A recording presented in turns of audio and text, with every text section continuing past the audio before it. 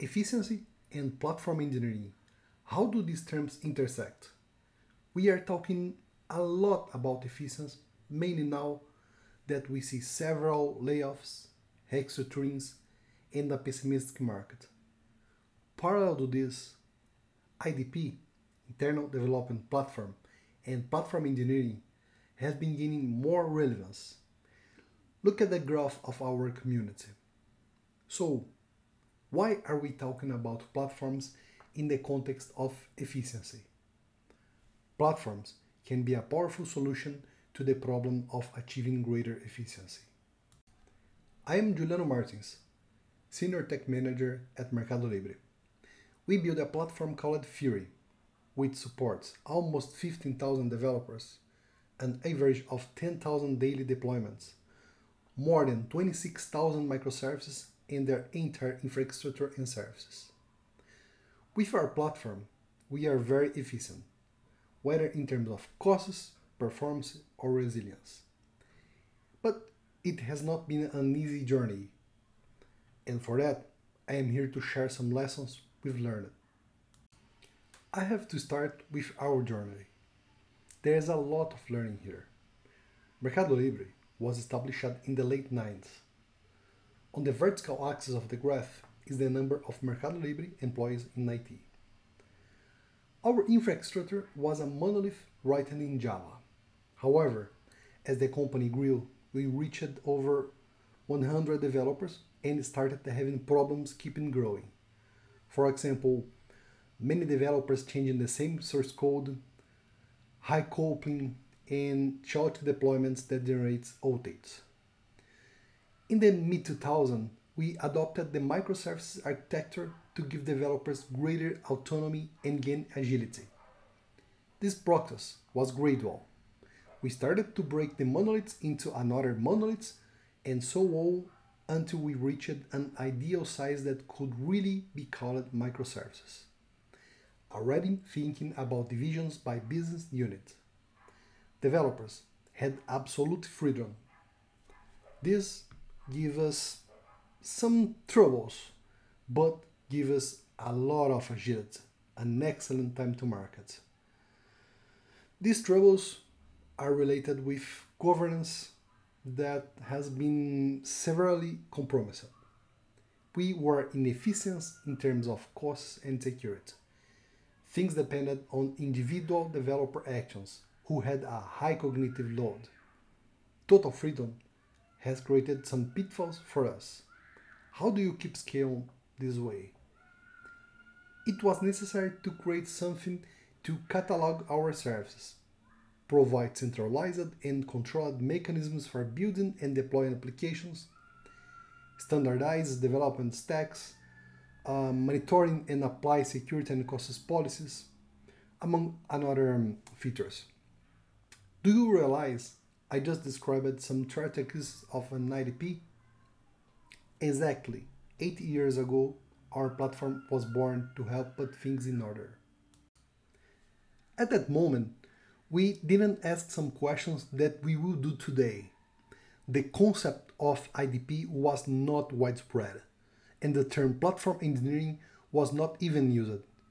If we were to make that decision today, we would ask ourselves should we build an IDP from scratch? Should we buy a complete IDP? Or should we purchase specific products and compose our IDP based on them? I don't have the answers, and I don't believe there is one answer for everyone. However, before asking myself these questions, I consider whether the moment is right to invest in an IDP or not. Many companies do not have a well-defined and established product. Despite that, they put a lot of effort into technical issues, which are important, sure, but they, they should have a good MVP of their product first. We will likely see these companies failing. Therefore, a tip is that there is no silver bullet understand the platform concepts and apply knowing how to distinguish the right moment for your company. don't fall in love with technology. As nerds, we, we have this natural tendency. But returning to our journey, the first features of our platform brought immediate gains. We focus on developing services or functionalities that will improve the user experience, that avoid repetitive work, or that standardize actions.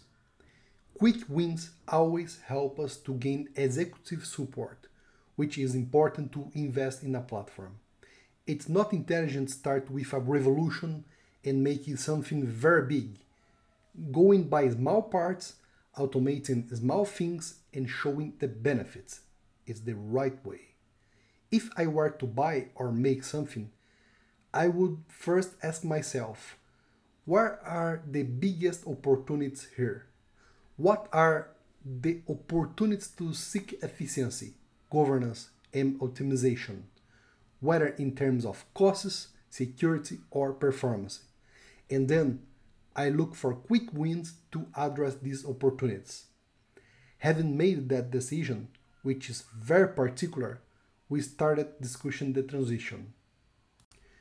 How was the transition to our platform, Fury, or at least to the services that we started to build at that time?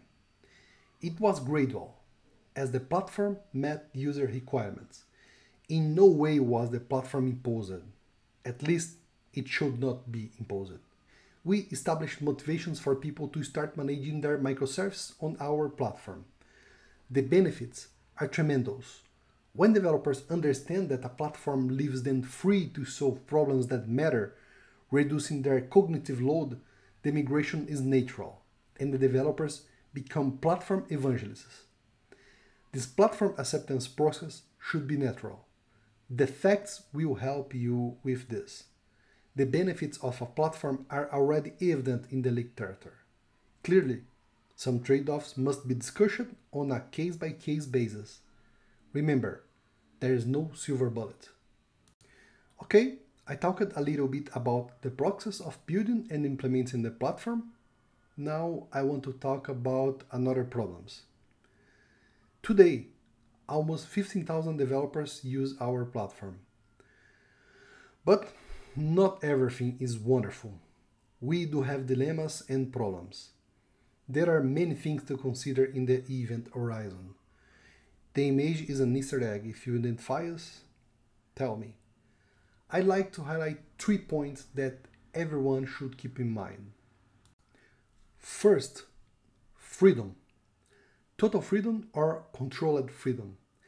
This is an eternal trade off that we have to deal with. A platform will abstract a lot of work from developers. It can also limit many choices like language or services they can use. What is the proper measure of abstraction or limits? There's no obvious answer. This is closely linked to the nature of your company. If you have a technology team, if your developers have DevOps knowledge, for example, it might even be a cultural issue you can decide whether to change. Here at Mercado Libre, we have something very close to NoOps. Developers care about the business, solving the problems, not killing a server, for example. Business itself already provide enough challenge because regardless of using a platform, the concepts to create a good application are necessary you must know how to create a resilient and a performative solution. Doesn't matter if you have a platform or not. You need to know 12 factors, solid, eh, clean code, you need to know very well your language, etc. Developers must understand that they are in a bigger picture and that the company's interests are vital. So, Controlled freedom helps ensure an excellent level of security compliance and efficiency. Second, support and training. You have to support and train people, as well as having good documentation. People reject the unknown by nature, survival instinct. Therefore, working hard on evangelization is crucial. Good support is also essential. For example, Imagine that a developer has a problem with the platform and manages to work around the problem using another solution. He will not use the platform. Here at Mercado Libre, we have a specific area for knowledge management and subject matter experts in addition to support. The area dedicated to knowledge management has created boot camps that our junior developers participate in and thus start production much faster. We also have specific acceleration tracks and many knowledge accent events. The subject matter experts support developers on various items, from using platform resources to larger problems, such as um, defining a good architecture for a solution, which service is best to use in a give problem, performance tuning, etc. Remember, you will need to invest in support and training if you don't want to see your platform die. 30. Your platform won't handle all cases. Developers are creative. You need to plan for what will be outside your platform, creating proxies, or using tools to monitor. What the platform cannot handle is necessary. Many problems for a business are very likely to arise in this scenario which naturally has a lower level of governance. Depending on the nature of your platform, what can be out of it could be third party solutions, innovation cases, or unsupported technologies, and so on. You need to understand the scenario in this universe and provide subsidies for the evolution of your platform. For example, recurring scenarios could be a, a good use case for your platform. At Mercado Libre, about 20% of our infrastructure is created outside our Fury platform. We call this the off Fury world. Therefore, we created tools based on infrastructure as a code that allow us to have an excellent level of compliance and understand what the user is doing, avoiding leaks, drifts, or vulnerabilities making sure, for example, that users are applying um, service packs, patches, etc. We also generate many metrics that allow us to make decisions. I told three points no, but one last message. I could have talked thousands of points here. You can read hundreds of books on how to build a new Google or a new Apple. But you won't make a new Google or Apple if you just follow everything. Why? Because there is a very big variable that a few are concerned about that is building a strong culture and being faithful to it. So, the last tip is to consume all the content we share in this event, but do not forget the main thing the culture. How you manage people and build teams. And for that, there is no magic formula. In this short time, we talked about our journey and some learnings. Having built our platform was an excellent decision that we made. Fury supported us to scaling efficient. In addition, it allowed developers to focus on building the best products. When we imagine that how our growth would have been like without a platform, it's clear that we achieved much greater efficiency because of it. Imagine more than 10,000 microservices all their interactions, security issues, etc., being treated individually. We would not scale. it. With our platform, we apply security paths in minutes. We change policies or make decisions at scale with one click. The developer goes from zero to production in four steps, with zero cognitive load. But again, let's remember the cultural issue that I just mentioned earlier. Forget good technology without good culture. If do you want to know more details about our platform, I invite everyone to watch a more complete video that we recorded for the Platform Engineering YouTube channel. Please be inspired by our ideas and create your own innovative solution. Thanks for watching.